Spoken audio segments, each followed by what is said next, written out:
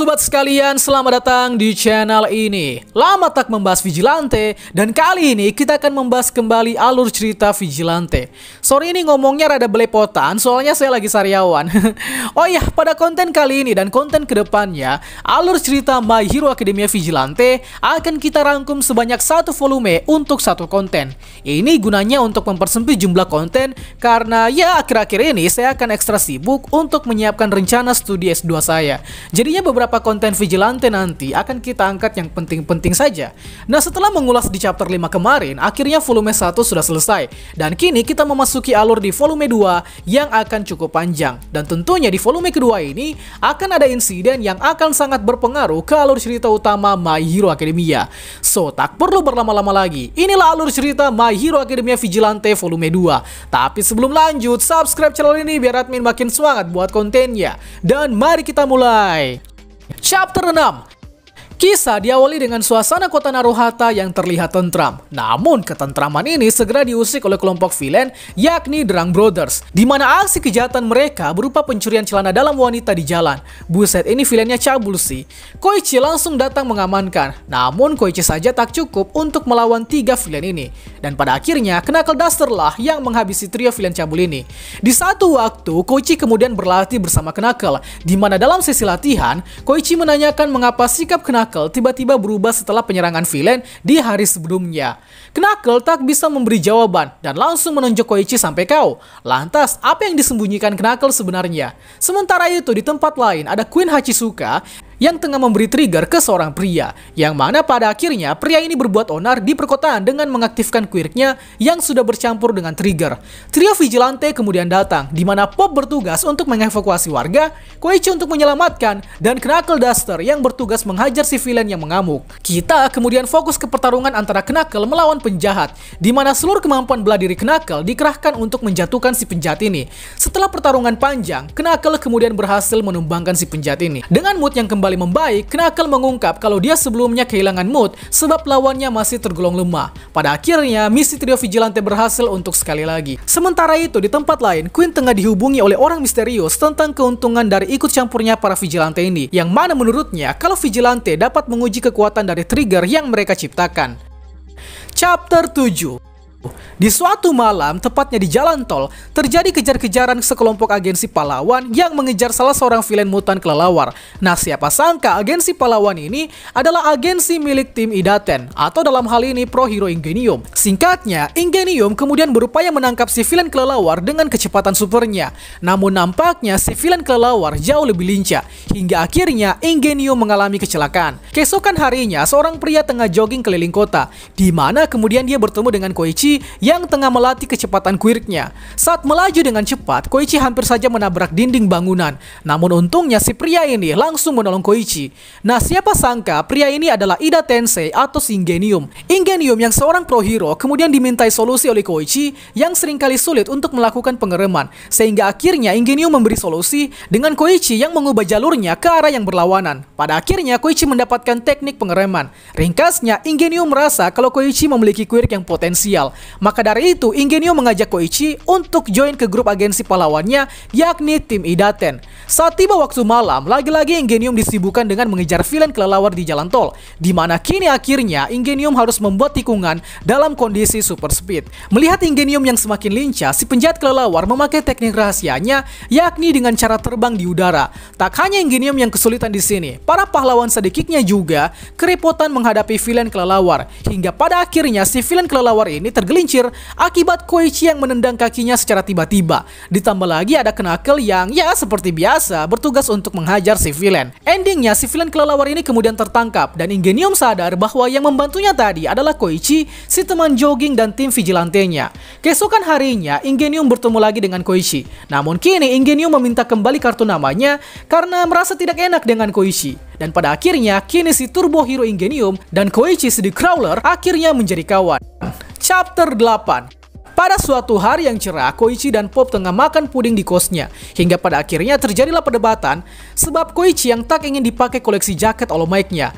Koichi kemudian menjelaskan alasannya dengan menceritakan flashback saat dia masih SMP. Koichi ternyata sempat ingin mendaftar di sekolah pahlawan yang ada di Tokyo. Namun pada akhirnya dia melihat ada seorang anak kecil yang hanyut di selokan. Karena jiwa pahlawan yang dia miliki, Koichi tak pikir panjang langsung menolong bocah yang hanyut ini. Setelah berhasil diselamatkan, Koichi memberikan jaket all mic-nya ke bocah yang dia selamatkan tadi. Namun konsekuensi yang Koichi dapatkan adalah dia akhirnya terlambat mengikuti ujian masuk ke sekolah pahlawan. Nah, Koichi juga pada akhirnya menerima konsekuensi tersebut karena bagaimanapun juga dia telah berhasil menyelamatkan nyawa seseorang dari kematian. Mendengar cerita Koichi tadi, Pop justru tersinggung dengan keputusan Koichi yang tak jadi pahlawan hanya karena menyelamatkan bocah yang hanyut sebelumnya. Pop kemudian pulang dengan perasaan yang campur aduk. Nah siapa sangka ternyata alasan Pop marah tadi adalah karena dia menyimpan jaket All Might yang diberikan Koichi di beberapa tahun yang lalu. Yang mana ternyata Pop sendiri adalah bocah yang diselamatkan oleh Koichi dari selokan saat itu. Buset plot twist. Jadi ceritanya saat itu, Pop yang masih bocil mau coba-coba memakai kuir kelompatan supernya. Namun Pop tergelincir dan akhirnya terjatuh ke selokan.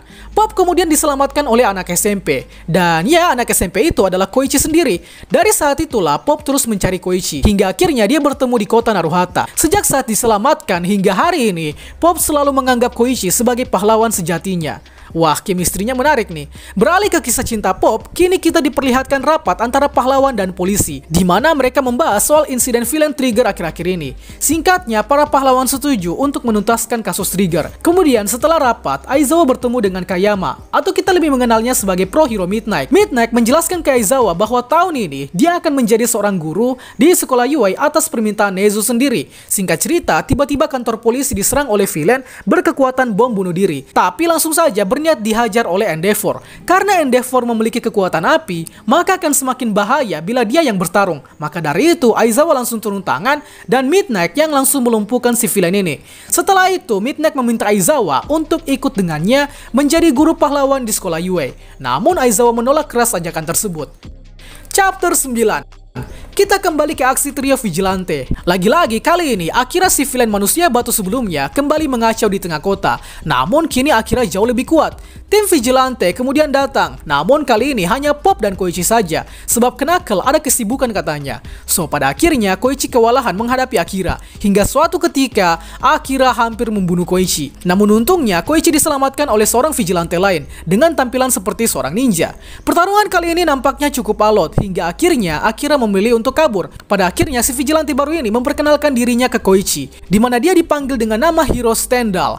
By the way, dia juga adalah pahlawan ilegal. Kembali ke kos-kosan, Samazu dan Jube ingin memperkenalkan senpai legendaris yang mereka kagumi. Namun pada akhirnya ketahuan kalau senpai yang dimaksud adalah Soga Kugisaki, si musuh preman yang menghajar Koichi sebelumnya. Beralih ke tempat lain, Akira akhirnya diserang oleh Stendhal yang telah lama memburunya. Sembari menyiksanya, Stendhal kemudian menghakimi Akira dengan berkata bahwa Akira adalah pendosa yang memanfaatkan kuiriknya dengan cara yang salah. So maka dari itu, Stendhal memutuskan untuk membunuh Akira dengan sekali tebasan. Buset sadis banget. Setelahnya, Stendhal kemudian mengincar target lain, di mana targetnya adalah Soga beserta villain dadakan sebelumnya. Singkat cerita, kita kini beralih ke kelompok Yakuza, tepatnya kelompok Abegawa Tenchukai, yang mana ini adalah kelompok Yakuza yang diidentifikasi sebagai villain. By the way, mereka ini adalah parodi dari tim Avenger Marvel.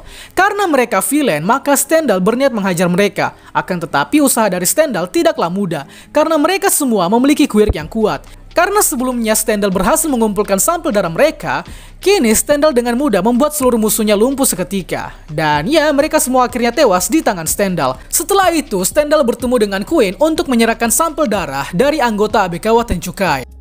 Chapter 10 Trio preman yang sebelumnya mengacau ternyata kini sudah bertobat, di mana mereka pada dasarnya ya hanya warga sipil biasa. Di sini mereka menyadari kalau tindakan mereka sebelumnya adalah sebuah kesalahan. Singkat cerita, Soga kemudian bertemu dengan Queen, di mana Queen meminta tolong ke Soga untuk mencari Stendhal, yang padahal ini adalah jebakan. Stendhal kemudian muncul dari belakang, dan ya Soga bersiap untuk bertarung. Pada saat ini, Soga telah dijebak oleh Queen, dan pada akhirnya dengan terpaksa Soga disuntikan obat trigger.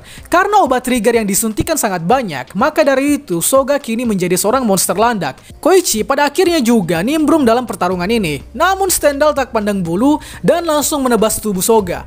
Koichi tak terima aksi Stendhal yang brutal, hingga akhirnya Koichi berusaha menyelamatkan Soga dari sini. Berkali-kali Koichi diserang oleh Stendhal, namun Koichi tak mau menyerah, hingga akhirnya Stendhal memakai kuirknya, yang mana kuirknya dapat membuat Koichi terbujur kaku dengan cara mencicipi darahnya. Kalian pasti tahu kan siapa dia sebenarnya? Stendhal kini menargetkan Koichi untuk dibunuh, namun beberapa saat kemudian, Knuckle datang untuk menyelamatkan Koichi. Chapter 11 Kini pertarungan diambil alih oleh Knuckle Duster versus Stendhal. Knuckle Duster mengejek ideologi Stendhal yang mengutamakan keadilan namun dengan cara membunuh. Stendhal juga membalas bahwa dengan cara membunuhlah, maka keadilan akan bisa ditegakkan. So pada akhirnya Knuckle baku hantam dengan Stendhal. Stendhal di sini berupaya untuk menebas Knuckle yang tak memiliki kuir. Sementara itu Knuckle berupaya untuk membuat KO dengan sekali serangan. So pada akhirnya Knuckle berhasil mendaratkan pukulannya dengan sekeras mungkin tepat di wajah Stendhal. Stendhal yang babak belur kini membalas Knuckle dengan membuat luka di tangannya dan kemudian membuat Knuckle kaku dengan kuirnya. Pada saat kabur, Stendhal kini merasa tercerahkan setelah bertarung dengan Knuckle. Di sisi lain, Soga akhirnya kembali menjadi manusia normal. Kembali lagi ke Stendhal, dia kemudian merubah tujuannya kali ini, di mana dia akan membunuh seorang pahlawan yang tak memiliki jiwa pahlawan sejati. Dengan memotong hidungnya yang sudah dipatahkan Knuckle sebelumnya, kini Stendhal berubah menjadi monster bagi para pahlawan korup, di mana tujuannya adalah untuk membunuh pahlawan korup untuk menciptakan masyarakat yang adil. Dan kini dia menjadi sosok baru yang dikenal sebagai hero Killer Stan. Dan volume 2 pun selesai. Wah, keren sekali kisah di volume kedua ini. Terhitung ada 6 chapter yang kita kompilasikan. So, ke depannya untuk pembahasan alur cerita Vigilante ini akan kita persempit menjadi satu volume. Jadi tungguin terus cuy. Itulah pembahasan kita pada kali ini. Sanggap update yang kurang. Request juga di kolom komentar untuk pembahasan selanjutnya. Dan akhir kata, see you next time.